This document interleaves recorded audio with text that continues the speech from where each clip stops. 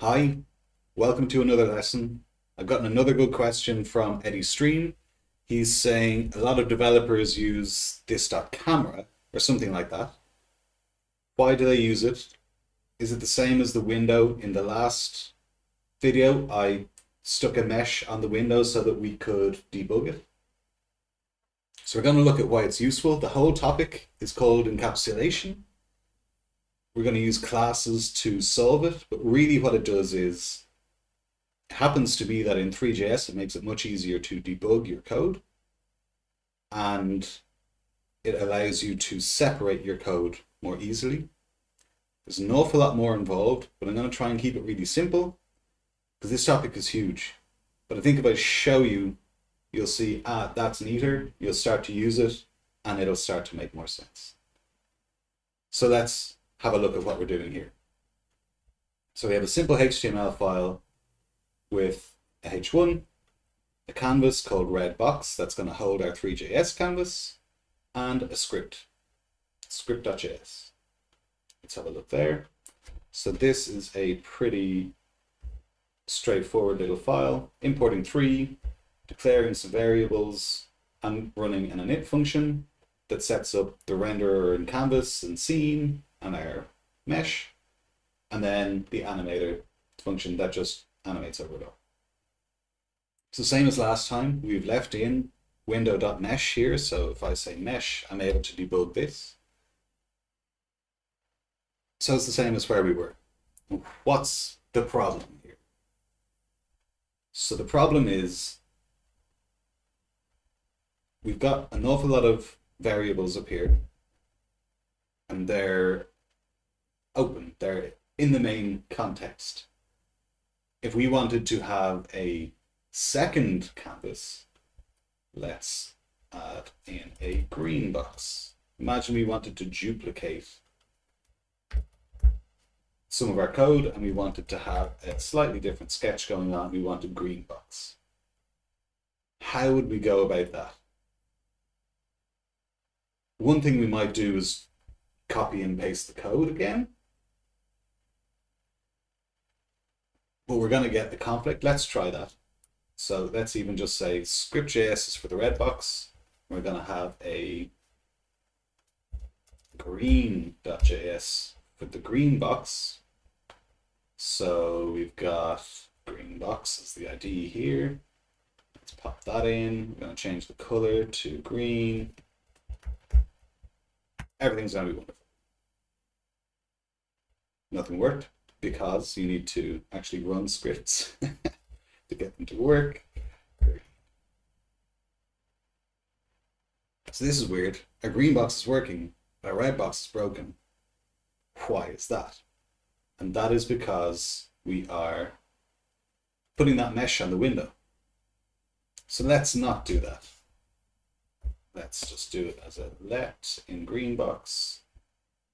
And we're getting an issue. Why is that? Again, because we need to declare it at the top. So let's say mesh. Chop that off here. Now Greenbox is working. But now we can't debug Greenbox. Where we need to call it something else if we wanted to look at it. Because Redbox's mesh is still on the window. So how do we get green Greenbox's mesh on the window? Okay, so let's not call it mesh. We'd have to call it like window.green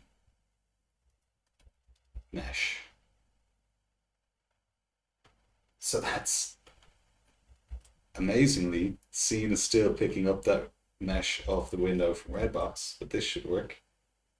And we also need to animate it. So see how messy that is. And what if we have 10 boxes in 10 different canvases? We have to start renaming things because they're clashing with each other and you know, we might call something green box here, but then what if we have another page and there's three different shades of green? Then we then we can't share the code because we have to rename it in every different page. It's a nightmare. So let's try and make it more simple. Let's get rid of green box and the script actually and just this for a second. Let's get our red box working using this, so using encapsulation. So what I'm going to do is copy the script and let's call it with this. And we need to bring that in. So we're going to, oops, load this in a slightly different way. We're going to use classes. We're going to use modern techniques. So we're going to have a script. It's going to be a type of module. And we're going to import our whole app as a sketch. I like to call them sketch.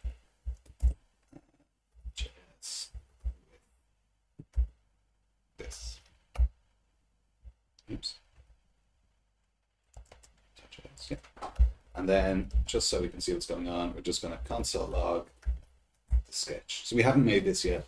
We just got that set up there. So that's why it's giving it. With this, this.js doesn't provide an export. Cool.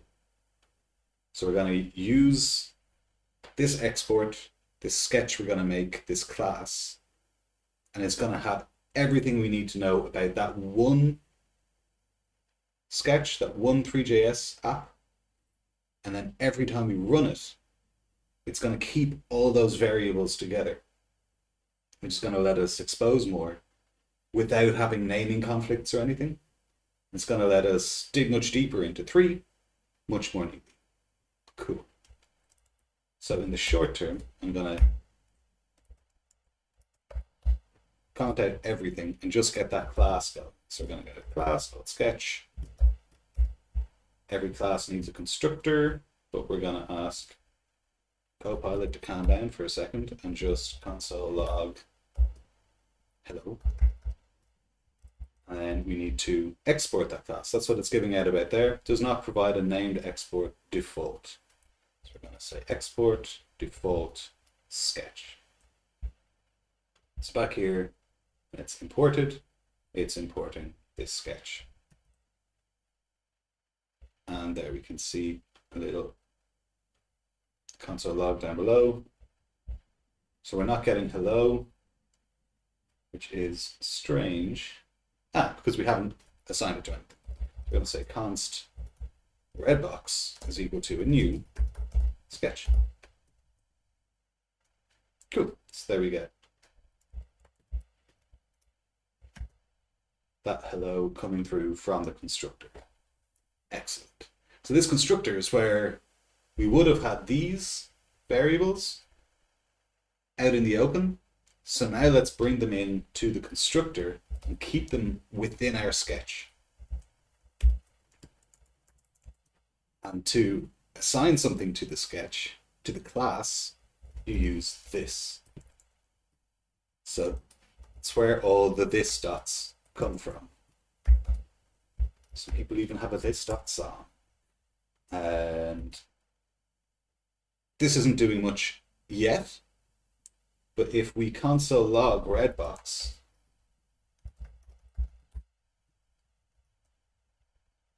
here's where it gets really interesting. So we haven't done anything on the window. We haven't done anything too weird with the variables in as far as classes go. But when we console log the sketch, if we look at the prototype, oh, I would have assumed we would see these on it. We need to set them to something? There we go. Yeah, they need to be set to something. So you can see camera is true. Now, we wouldn't usually do it like this. I'm going to do it nicer in a second. But just to show you, we can now log this sketch and start seeing all these details. So we're seeing more than we saw before, even though we haven't done anything with Three.js yet. So this is where it starts to help the debugging. Let's get some better examples going. So we're going to bring in our functions again. So the init function and the animate function. And in a class, you don't need to declare a function. So they should be happy enough there. Then we're going to bring the init and animate into the constructor. We don't need to console log that anymore. And we're going to call them and we've got a problem because we don't know what init is. because we haven't put it in our sketch. We haven't declared where it is relative to this. So because it's in the root, you can see it's in the same line as the constructor. It's just a this dot init and a this.animate. But we're hitting another problem because we've taken it from with the simpler way of doing three, where it doesn't know what any of these things are called anymore. It doesn't know what a scene is, doesn't know what a renderer is. here is where we do all the this dot stuff. So let's start looking for all the instances of scene. I think there's another one down here. And say this dot. Lovely. Now it's wondering about the renderer. So let's get all of those. And there's another one down here. This dot. And now it's wondering about the camera. Those. And there's another one down here. This dot. Cool. Ah. So all of our normal kind of global variables are working. But now it's not sure where animate is, because we've got another just animate here, so we can say this dot. Now this gets interesting. Doesn't know what animate is again. But it actually does the first time. If I console.log animate, um, actually, let's console.log this. You see there's sketch. So the first time when we call this animate, the context is the sketch. Animate knows what to do, calls this dot animate. But now because of encapsulation, the context is this dot animate. So we need to reset it back to the sketch every time by just binding the original this. I'm flying over that. Trust me. It took me a long while to understand it. To be honest, do I fully understand it? I don't know. But that is how you get the animate function to work, and you should be going again. Cool. And now if we look at our sketch, when we console log red box down here, we're getting the camera and all the functionality to do with it, the renderer. So we could say uh, so here is where we could just put on the window the red box. Oops, could do it properly. Again, this isn't, you never really want to put stuff on the window, but this is just to show you how we can get into it. So when I look at Redbox, I'm getting that sketch class with everything on it. I can see the init, I can see the constructor, I can see the animate. Got everything that I need there. So I could say uh, redbox.camera position y and have a look. So it's at 0.7. So what if we change that to 1.2? So you see we're starting to get control of the camera and we never really you didn't have to do anything to get that. We just get it for free. Cool. So we've got better information in the console about our sketch, about our red box.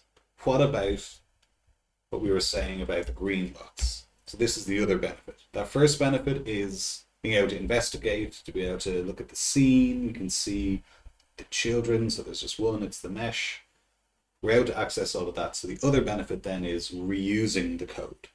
And to do this, we need to split the code a little bit to be able to reuse it. So what we're going to say is we want another sketch. This one's going to be green box. And we're to console log that as well. So that's not doing much. It's all actually still running here. So why, what's, what's the use? What's cool is we can pass in variables. So if I pass in red here and green here, we can get those in the constructor as a color. And we could say this dot color equals that color that's coming in. So now when I look at these, see, color red, color green. Interesting. So maybe I can, when we're getting the ID, say this dot color box. Cool. So we're getting our two boxes. We want to change the color here. Let's say this dot color. We're getting that problem again with the mesh, which we don't like.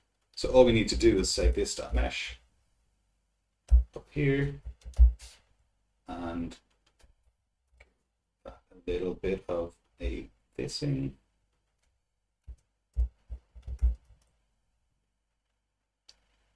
And now we've got both working, which we didn't really get before. We can also inspect them down here. So here's our mesh. We could even go in and see the material. We can see the color coming through. So we're getting a huge amount of detail and no conflicts. They're both running. So let's remind ourselves again, we're pulling in sketch. We're creating a new sketch with red and a new sketch with green. So they're two different contexts now. So there's no clash in all that information. It's really nice and neat, but we need to separate out the files again. So sorry, actually, so this works perfectly. We've got one file running both sketches. We're doing great. But we can make it neater. Because this is a lot to take on. You can imagine if we've got huge project, thousands of lines, we don't want it to look like this. So we could separate some things out. Let's make some components. What just working? I did that.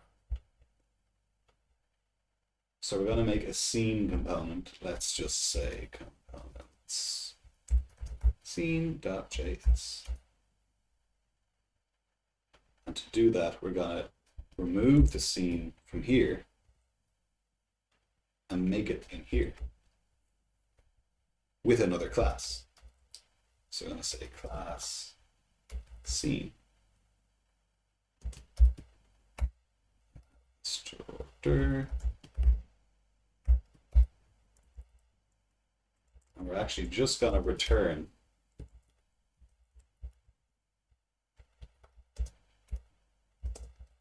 new scene. But if you wanted to do an awful lot more stuff with your scene, there's fog and things like that.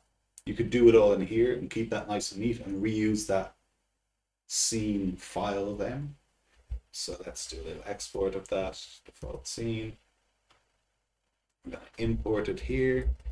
Import scene. What would that be?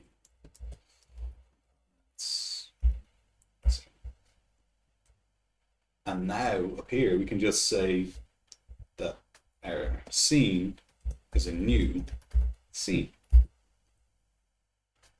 And that should just work. Aha, except 3 is not defined. So it's defined here in this file, but it's not defined in this file. So let's add it in. Everything's working. Lovely stuff. So what else do we want to do? Let's pluck out the renderer.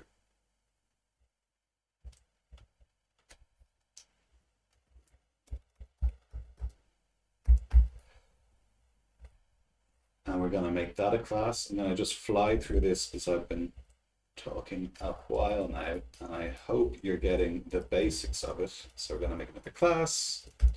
Going to have it as a renderer. Constructor, so we have to. We're going to bring all of these in. And we're just going to return the renderer. And then back in here, renderer. I'm going to say that our renderer is a new renderer.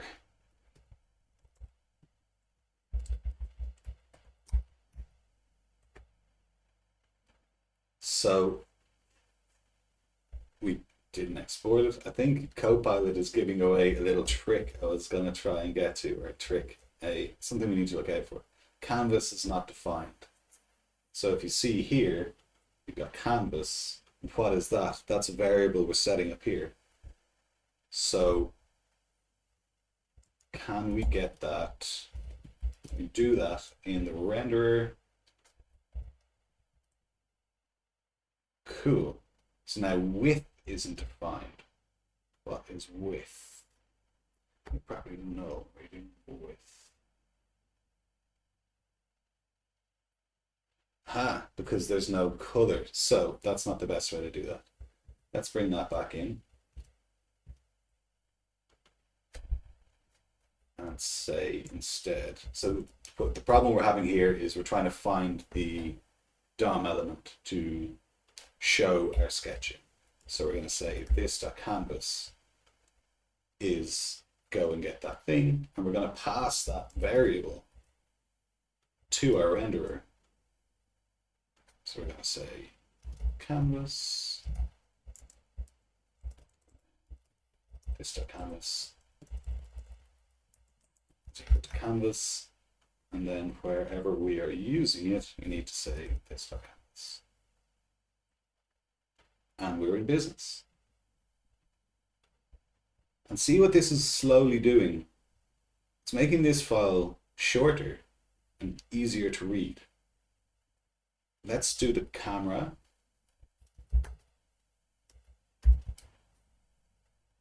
So as we're learning by now, we need to grab Three.js plus camera. That's spelling that right. Now we're going to need a constructor. And we're going to need to export the camera. Then we can grab everything to do with the camera.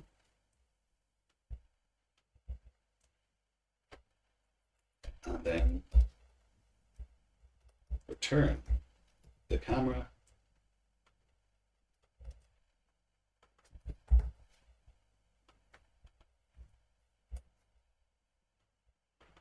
And then we should be able to just say, this new camera. Okay, camera is not defined. There's not an instance of three dot camera. What is happening there? Step camera.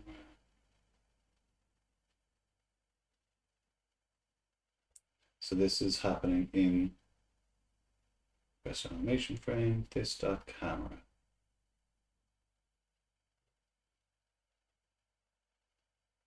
Maybe this is an issue with the renderer still.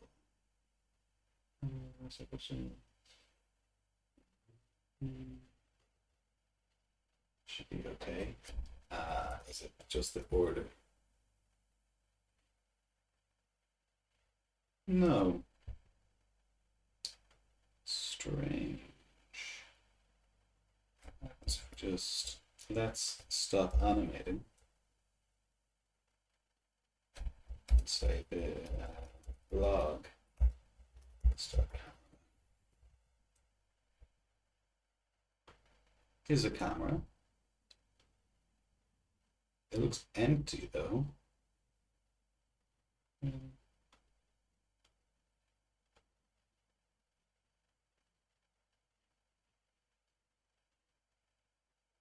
Hmm. Very strange.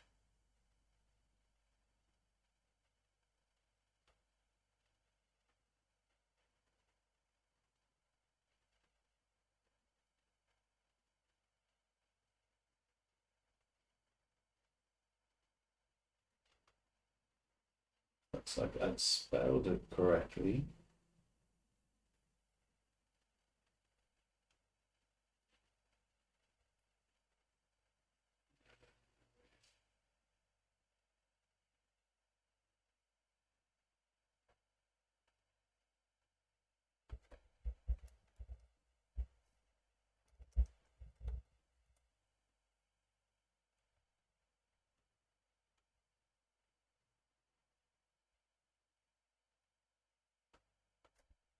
That looks strange.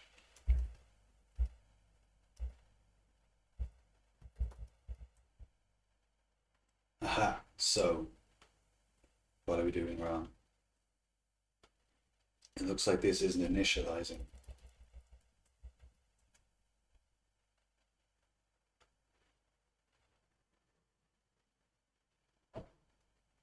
Camera.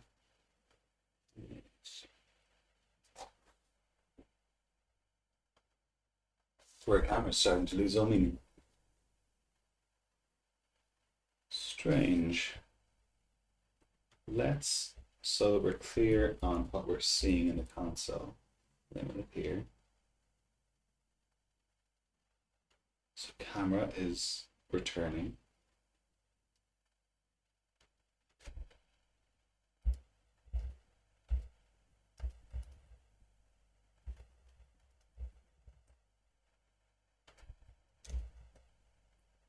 the constructor is seeing the camera, but we should have this running first, but we're not. Constructor. There we go. That looks better. All of that over just a little typo. So let's get rid of those. Bring the animate back in. Lovely. Then if we bring back in our boxes. Green and red, both very happy. Lovely stuff. So we're really pulling stuff back here. And now we're going to hit another little interesting bit. So this is the last piece I'm going to show you. When we try and export the mesh and make it a class. So let's call it like mover box. Maybe we want to have 10 of these and maybe we want them to be different sizes and different colors. So let's do as we have been doing and export this, make a class, mover box. Hope I spelled that right this time. We're gonna need to bring in Three.js.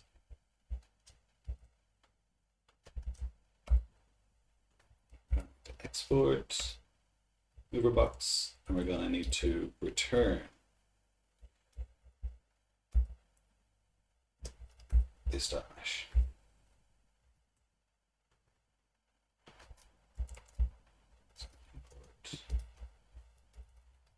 Mover box from components mover box. Thank you. Now we're going to say our mesh is a new mover box.